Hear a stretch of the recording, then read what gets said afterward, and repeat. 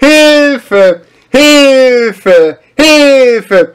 Facebook wird ab sofort von den Identitären, Rechtspopulisten und Reichsbürger kontrolliert. Dass diese Personengruppe ohnehin die Lufthoheit über diverse Gruppen und Foren hat, ist ja hm, nichts Neues. Neu ist allerdings etwas anderes, nämlich bislang dachten wir ja, dass für die Zensur eher die als, ähm, naja, irgendwie ein äh, bisschen linksextrem äh, gestrickte Amadeo Antonio Stiftung zuständig ist, doch ähm, offensichtlich hat die Hütung der Meinungsfreiheit ein ganz, ganz anderer Personenkreis übernommen.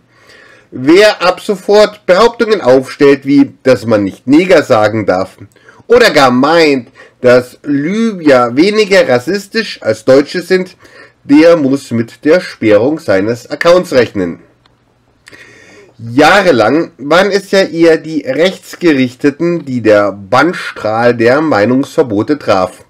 Nun, äh, nach diesem offensichtlichen Wechsel wird gnadenlos zurückgeschlagen. Stopp! Ich appelliere hiermit an alle, für die Meinungsfreiheit einzutreten und politische Debatten nicht mit Denkverboten, sondern mit Argumenten auszutragen.